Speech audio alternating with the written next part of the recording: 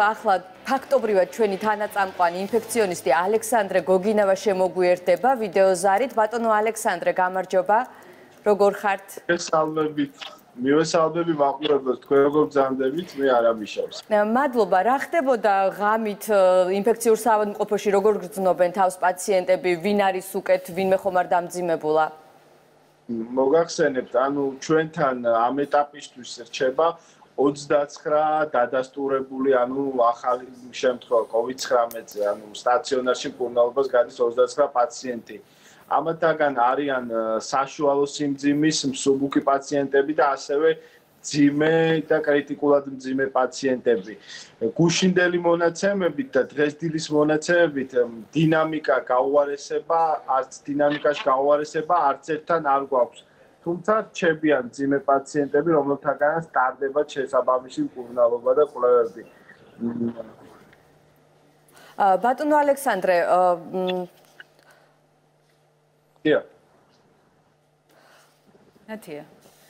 მოდით, დიახ, ბატონო ალექსანდრე, მე მაინტერესებს თქვენ თქვით ძიმე და კრიტიკულად ძიმე პაციენტები. დაახლოებით რამდენი ასეთი პაციენტია თქვენს კლინიკაში მოთავსებული?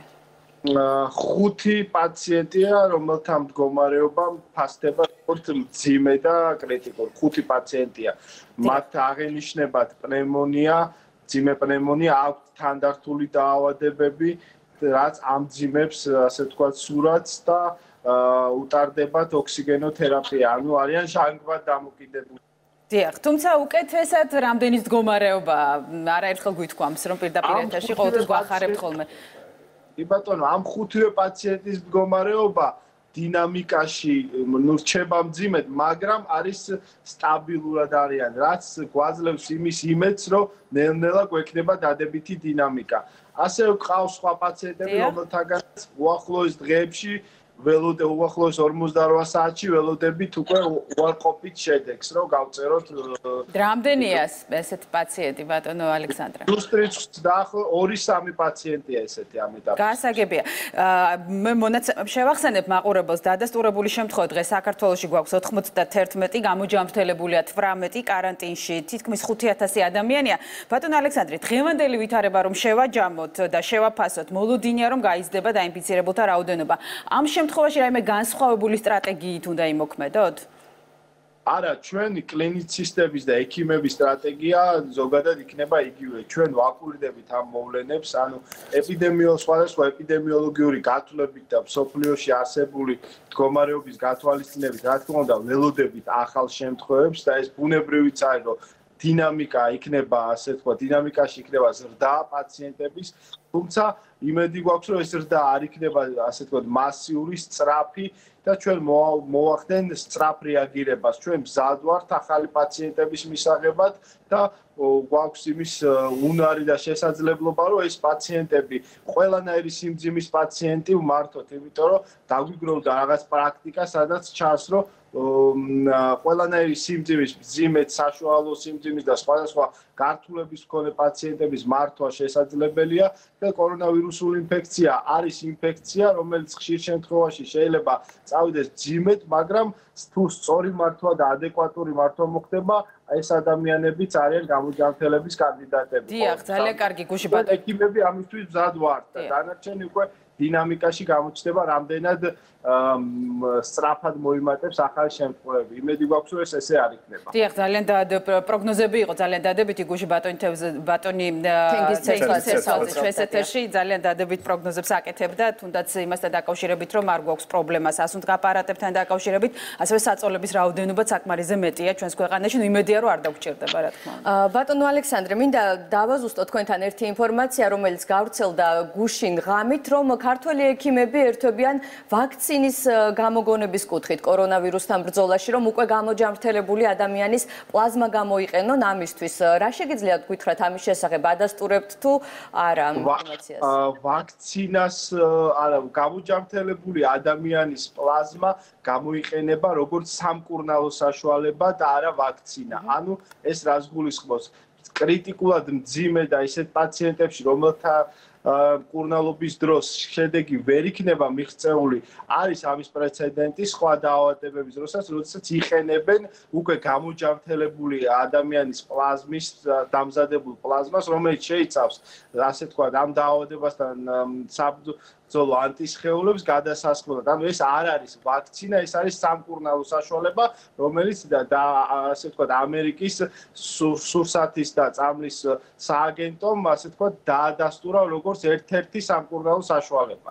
და ქართული მეცნიერები ანუ ანუ ჩვენთანაც დაიწყო მუშაობა აი ამ პრეპარატზე, რომ შეიქმნას და მოხდეს ძიმე შემთხვევებში ამ პრეპარატის გამოყენება სამკურნალო, რა თქმა უნდა, შესაბამისი ჩვენებების მიხედვით, რაც საერთაშორისო პროტოკოლებში და გაიდლაინებში არის ასახული.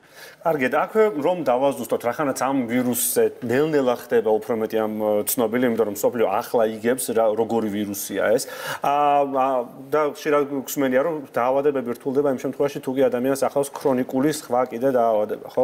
აა თუ არის უკვე გამოკვლეული რომელი ჯგუფის დაავადებები უფრო მეტად ამ შეიძლება დაამძიმოს ადამიანის მდგომარეობა და რომელმა უფრო ნაკლებად მაგალითად თირკმელთან დაკავშირებული პრობლემა შეიძლება იყოს ამ შემთხვევაში უფრო მძიმე თუ უშუალოდ ღვიძლთან ან უბრალოდ მაგალითი ყველაზე დიახ ყველაზე უფრო მაღალ ასე ვთქვათ რისკ ფაქტორს წარმოადგენს გულსიძახთა დაავადებები. არტერიული ჰიპერტენზია მათ შორის. ასევე ასე ვთქვათ ფილტვის ქრონიკული ობსტრუქციული დაავადება დიაბეტი ასევე თირკმლის თქვათ ქრონიკული უკმარისობა.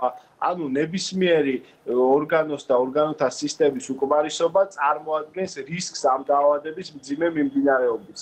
და მაგრამ ყველაზე უფრო მაღალ რისკად შეფასებულია გულსიძახთა დაავადებები და მათ შორის გიპერტენზიული დაავადება. ანუ როდესაც ადამიანს აქვს მაღალი წნევა. ბატონო ალექსანდრეთი შიდა სამზარეულოსთან დაკავშირებული კითხვა გვაქვს თუ შეიძლება ჩვენ ბევრი ვიდეო ვნახეთ როგორ იმოსებიან ექიმები სანამ შევლენ ბოქსირებულ განყოფილებაში. არა ქართული ვიდეოები ვნახეთ და თუ შეგიძლიათ გითხრათ აი თქვენ როგორ იმოსებით ხოლმე? რამდენ რაღაცას იცვამთ და იკეთებთ?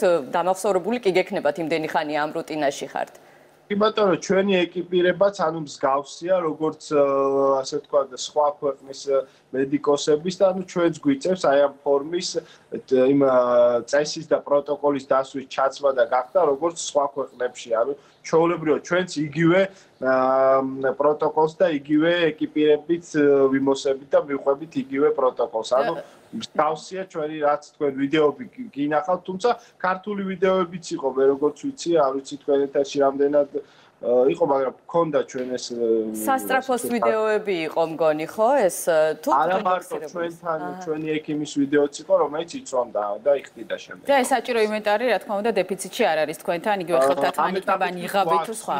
გვაქვს ინვენტარი იმისთვის, რომ სრულფასოვნად იყოს ექიმი აღჭურვილი, რათა მინიმალ ასე თქო მინიმალიზაცია მოხდეს დაინფიცირების და დაავადებასთან კონტაქტის. და ბოლოს ხომ არ ვიცით დაახლოებით რამდენი პაციენტის პასუხებს ელოდებიან ახლა თუ არის თქვენთვის ცნობილი კიდევ დამატებით?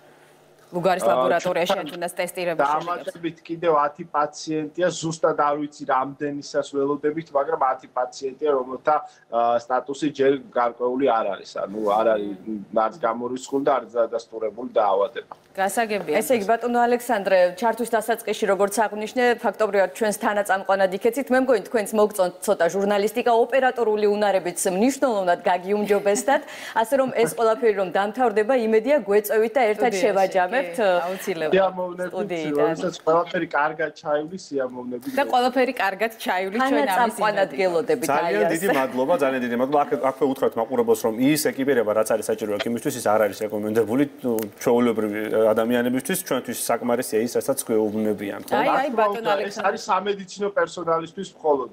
დიახ, ჩვეულებრივი მოსახლეობა საათობით უწევთ პაციენტებთან ყოფნა. დიდი მადლობა ჯანმრთელობას გისურვებთ. ბატონო ალექსანდრე დაგემშვიდობებით უკვე მომავალ ჩართვამდე. კარგად ზანდებოდეთ. ჩვენ კი განვაგზობთ. გამოშვება